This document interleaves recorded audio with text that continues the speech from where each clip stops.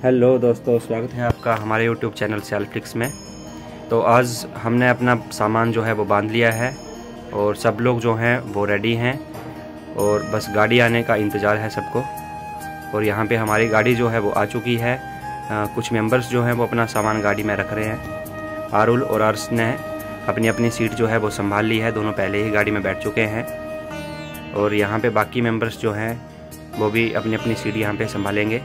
Driver साहब जो हैं, वो गाड़ी का टायर देख रहे हैं, शायद उनको कुछ डाउट लग रहा है और सारे लोग जो हैं, वो गाड़ी में बैठ चुके हैं। और यहाँ से हमारा सफ़र जो है, वो शुरू होता है मणिकरण के लिए। तो मणिकरण जो है, वो हिमाचल प्रदेश के कुल्लू डिस्ट्रिक्ट में आता है। और यहाँ पे जो है, ड्राइवर साहब अपनी गाड़ी का टायर चेंज कर रहे हैं, क्योंकि सफ़र जो है, वो हमारा लंबा है। तो अब हम फिर अपने सफ़र के लिए जो है, वो निकल पड़े हैं, क्योंकि रास्ता लंबा है। और यहाँ पे हमें दोपहर हो चुकी है पहुँचते पहुँचते तो यहाँ पे अब हम लोग जो है, वो लंच करेंगे। उसके बाद फिर हम आगे का सफ़र तय करेंगे। तो कुल्लू जाते हुए हमें रास्ते में बहुत सारे टनल से होकर गुजरना पड़ता है। और अभी हम कुल्लू भी नहीं पहुँचे हैं। और शाम जो है, वो होने को आ गई है। तो हमने ऑनलाइन ही जो है, अपना होटल जो है बुक कर लिया है। और रात को हम जो हैं, वो कुल्लू में ही होटल में रुकेंगे। तो हमने अपना खाना वाना जो है, मंगवा लिया है। और सुबह होते ही हमने जो है वो होटल से चेकआउट कर लिया है। सब लोग जो हैं, वो अपना सामान बाँध के रेडी हैं।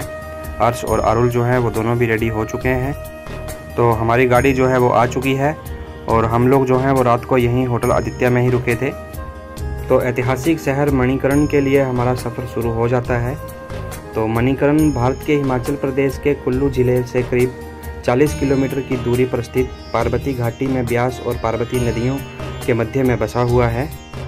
कसौल से चार किलोमीटर पूर्व में स्थित यह तीर्थ शहर वास्तव में कई रोमांचकारी अनुभवों को छुपाता है। मणिकरण, हिमाचल प्रदेश और अन्य पड़ोसी राज्यों के सभी प्रमुख शहरों से सड़क से बहुत अच्छी तरह जुड़ा हुआ है।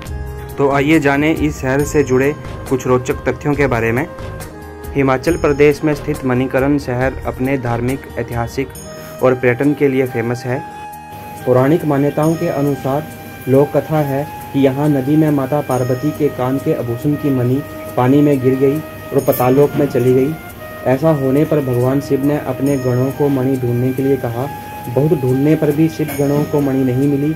इस बात से क्रोधित होकर भगवान शिव ने अपना तीसरा नेत्र खोल दिया। तीसरा नेत्र खुलते ही उनके नेत्रों से नैना देवी प्रकट हुई। इसलिए यह जगह नैना देवी की जन्मभूमि भी मानी जाती है। नैना देवी ने पताल में जाकर शेषनाग से मणि लौटाने को कहा। तो शेषनाग ने भगवान शिव को वह मणि भेंट कर दी, लेकिन वे इतने नाराज़ हुए कि उन्होंने ज़ोर से फुकार भरी, जिससे इस जगह का गर्म जल की धारा फूट पड़ी, तभी से इस जगह का नाम मणिकरण पड़ गया। मणिकरण में सिख और हिंदू दोनों की आस्था की वजह से साल भर श्रद्धालुओं का आना जाना जो है वो लगा रहता है। तो अभी हम लोग जो हैं वो राजसी गुरुद्वारे से होते हुए शिव मंदिर की तरफ़ जाएँगे। हमारे भारत में ऐसे कई तीर्थ स्थल हैं और मंदिर हैं जिनके पीछे कोई ना कोई राज छुपा हुआ है। यहाँ पर पुरुषों और महिलाओं के लिए अलग अलग स्नान कक्ष बने हुए हैं।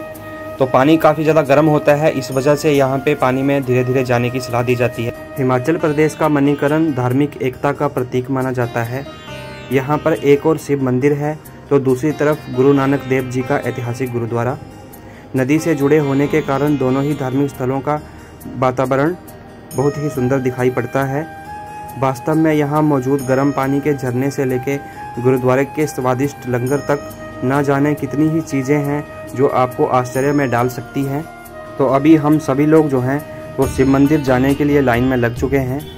तो यहाँ पे जो है आप देख सकते हैं, सामने पार्वती नदी जो बह रही है, और ये सामने भगवान शिव जी का मंदिर है, और यहाँ पे नंदी जी हैं। और यहाँ पे जो है काफ़ी ज़्यादा रस रहता है। एक तरफ़ गुरुद्वारा है तो दूसरी तरफ़ शिव जी का मंदिर है। पे लोगों की ऐसी मान्यता है कि नंदी जी के कान में कुछ कहने से उनकी बात या मनोकामना जो है, वो शिव जी के पास जल्दी पूरी होती है। यहाँ पर शिवलिंग जो है, वो काले पत्थर के बने हुए हैं। तो यहाँ पर शिवलिंग के ऊपर प्रसाद वगैरह चढ़ाने के बाद जो है, मंदिर की परिक्रमा की जाती है। तो यहाँ पे हम सारे लोग जो हैं वो मंदिर की एक परिक्रमा करेंगे, जैसे बाकी सारे लोग कर रहे हैं यहाँ पे। तो यहाँ पे आप देख सकते हैं, शिव मंदिर के बिल्कुल पीछे ही यहाँ पे पार्वती नदी बह रही है। और नदी के पास जो है, आप देख सकते हैं यहाँ पे कैसे धुआँ जो है वो उठ रहा है। ये धुआँ जो है वो गर्म पानी की वजह से है। कहा जाता है कि देवी देवताओं ने स्वर्ग से आकर यहाँ भगवान शिव की पूजा की थी। सन 1905 में यहाँ तेज भूकंप आया। उसके बाद ये मंदिर गिरा नहीं, सिर्फ़ एक और हल्का सा झुक गया था। तब से ये मंदिर हल्का झुका हुआ है। भगवान शिव को समर्पित एक आध्यात्मिक पूजनीय मंदिर हिमालय की तलहटी के बीच में स्थित है। ऐसा कहा जाता है कि इस मंदिर में भगवान शिव की पूजा करने के लिए देवी देवता जो है, वो स्वर्ग से उतरते हैं। और कहा जाता है, देवी देवताओं ने स्वर्ग से आकर यहाँ भगवान शिव की पूजा की थी। तो मंदिर में दर्शन करने के बाद सारे लोग जो हैं, वो मंदिर से बाहर आ चुके हैं। और अभी सारे लोग जो है, जहाँ पे गर्म पानी का एक कुंड सा है, उसकी तरफ़ जा रहे हैं। और यहाँ पे जो है, दर्शन के लिए आए पर्यटकों को यहाँ सफ़ेद कपड़ों की पोटलियों में चावल धागे के साथ बांधकर बेचे जाते हैं। और कुछ लोग जो हैं, वो अपने घर से भी पोटली बना के लेके आते हैं। मान्यता यह है कि नवविवाहित जोड़े इकट्ठे धागा पकड़कर चावल उबालते हैं तो उन्हें सुखद विवाहिक जीवन का आशीर्वाद मिलता है। तो यहाँ पे काफ़ी सारे लोग जो हैं, वो इस कुंड में, जो साथ में पोटे लाए हैं, जो या उन्होंने यहाँ पे खरीदी है, उसके धागे के माध्यम से यहाँ पे उसको उबालते हैं और प्रसाद के रूप में जो है, वो उसे अपने अपने घर लेके जाते हैं। मणिकर्ण में यह जगह एक प्राकृतिक भूख वैज्ञानिक चमत्कार है, जो गर्म उबलते पानी से भरा हुआ है, जो यूरेनियम और रेडियो धार्मिक पदार्थों से भरपूर है कहा जाता है कि इन गर्म पानी के झरनों में यूरेनियम, सल्फ़र और कई अन्य तत्व होते हैं जो बीमारियों को काफ़ी हद तक ठीक करने में मदद करते हैं। ऐसी मान्यता है कि इस कुंड में डुबकी लगाने से इंसान के अंदर का क्रोध और बुराई खत्म हो जाती है। मणिकरण साहिब में जो लंगर तैयार होता है, वो इसी गर्म कुंड में जो है, वो पकाया जाता है। और यहाँ के उबले पानी में पके भोजन को खाने से मनुष्य बैकुंठ धाम को जाता है। तो मंदिर से बाहर निकलते ही आपको काफ़ी सारी दुकानें जो हैं वो दिख जाएँगी, जहाँ से आप प्रसाद वगैरह जो है वो ख़रीद सकते हैं। तो हम भी यहाँ अपने लिए प्रसाद वगैरह जो है वो ख़रीदेंगे और फिर हम चलेंगे आगे मार्केट की तरफ़। यहाँ पर साल भर श्रद्धालुओं का आना जाना जो है वो लगा रहता है। इसलिए हमेशा आपको यहाँ पे जो है, वो काफ़ी संख्या में श्रद्धालु देखने को मिलेंगे। तो गर्म पानी के कुंड और एक राजसी हिंदू मंदिर और गुरुद्वारे के पास एक हलचल भरा बाज़ार और विभिन्न सस्ते आवास विकल्पों के साथ यह छोटे से स्वर्ग में आँखों को लुभा देने वाली बहुत सी चीज़ें उपलब्ध हैं। पार्वती नदी के किनारे घाटी में बसा ये गुरुद्वारा सिखों का धार्मिक स्थल है। माना जाता है कि इस गुरुद्वारे में गुरु नानक देव जी अपने पाँच शिष्यों के साथ आए थे। गुरुद्वारा मणिकरण साहिब गुरु नानक देव जी की यात्रा की स्मृति में बनाया गया था। इस गुरुद्वारे का ज़िक्र ज्ञानी ज्ञान सिंह ने बारहवें गुरु खालसा में भी किया है इसे सिखों के लिए एक महत्वपूर्ण पूजा स्थल के रूप में माना जाता है। इस गुरुद्वारे में सिख ही नहीं, बल्कि बड़ी संख्या में हिंदू भी पहुँचते हैं। तो यहाँ पे अब मार्केट जो है वो ख़त्म हो जाती है, और आगे हम देखेंगे भगवान रामचंद्र जी का मंदिर। मणिकरण में इस मंदिर का धार्मिक और ऐतिहासिक दोनों ही महत्व है। सत्रहवीं सदी में पिरामिड नुमा आकार के इस मंदिर की वास्तुकला हिमाचल की खासियत है। इसमें भक्तों के ठहरने के लिए तीन बड़े हॉल और चालीस कमरे हैं। मुख्य मंदिर की बेदी में भगवान राम और देवी सीता की मूर्तियाँ स्थापित हैं। इसका निर्माण कुल्लू के राजा राजा जगत सिंह ने करवाया था, जो स्वयं इन मूर्तियों को अयोध्या से कुल्लू लाए थे। मंदिर में जाने का सबसे अच्छा समय दशहरा और रामनवमी का माना जाता है।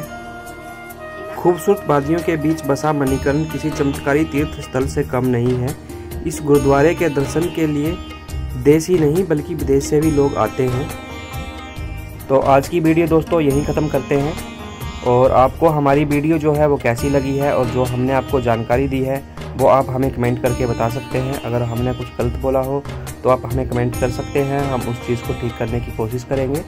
यहाँ पे इस ब्रिज पे ज़्यादा देर खड़े रहने की या फ़ोटो वगैरह खिंचवाने की मनाही है। ज़्यादा देर आप इस ब्रिज पे नहीं खड़े हो सकते हैं। यहाँ पे चेतावनी भी लिखी हुई है।